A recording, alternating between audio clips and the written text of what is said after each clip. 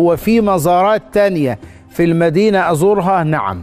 إحنا زرنا المقام الشريف وزرنا الصاحبين سيدنا أبو بكر وسيدنا عمر وانت طالع من باب البقيع أو من باب سيدنا جبريل اللي هو باب الخروج من الزيارة تجد مقابلا لك مباشرة البقيع بقيع الغرقد وهنيئا لأهل المدينة أنهم في البقيع بجوار الحبيب الشفيع. تشرف أهل البقيع بالحبيب الشفيع. جوار النبي ده شرف ما بعده شرف.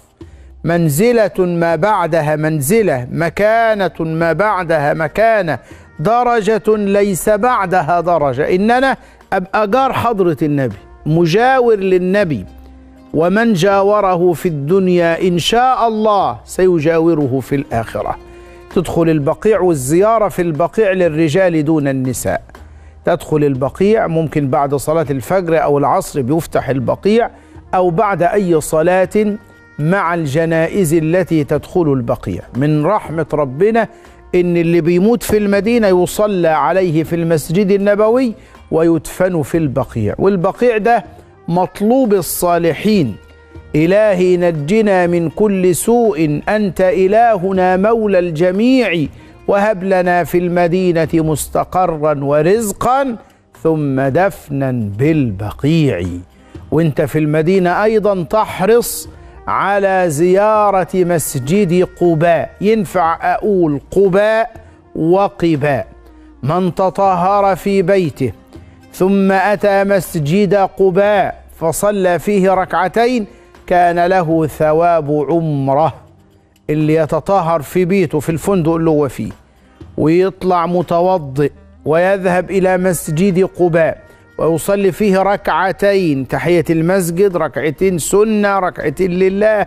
قضاء حاجة ما شئت أن تصلي صلي. ركعتين اتنين كتب الله لك ثواب عمرة بصلاة هاتين الركعتين. وكان سيدنا النبي يذهب كل يوم سبت إلى مسجد قباء فيصلي فيه ركعتين. كان يروح السبت وغير السبت. وكان يذهب راكبا وكان يذهب ماشيا. وعملوا دلوقتي في المدينة حاجة اسمها ضرب أهل السنة أو ممشى أهل السنة. يعني طريق كده من المسجد النبوي لغاية قباء حوالي 3 كيلو. الناس بيمشوها دلوقتي. تأسيا بسيدنا رسول الله. هل هناك مزارات أخرى في المدينة؟ نعم. زر جبل أحد وزر شهداء أحد وزر سيدنا الحمزة. جبل أحد اللي كان عنده غزوة أحد سنة ثلاثة هجرية. لما تذهب إلى هذا المكان تستشعر القيمة الحقيقية للتضحية والفداء في سبيل الله. صحابة سبعين صحابي.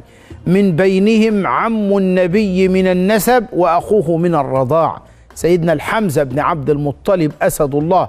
أخو النبي من الرضاع رضع من السيدة ثويبة جارية أبي لهب.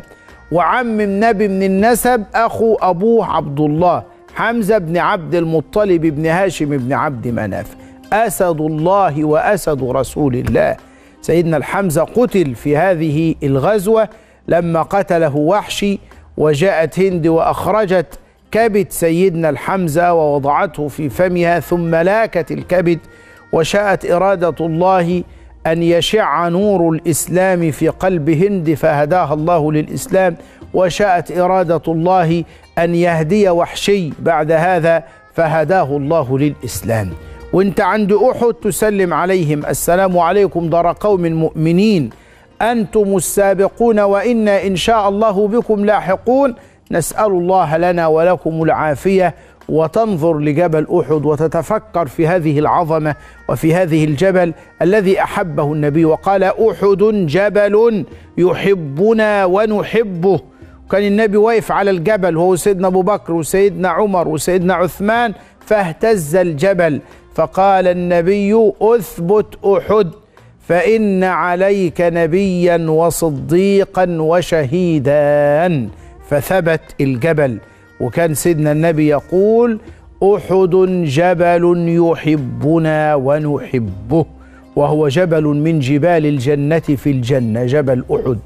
يبقى في المدينة هنزور سيدنا النبي ونزور سيدنا أبو بكر ونزور سيدنا عمر ونزور أهل البقيع ونزور شهداء أحد مع سيدنا الحمزة ونرى جبل أحد ونصلي ركعتين في مسجد قباء هو ده المزارات الموجودة في المدينة المنورة التي نثاب على زيارتها ونتأسى برسول الله لأنه زارها.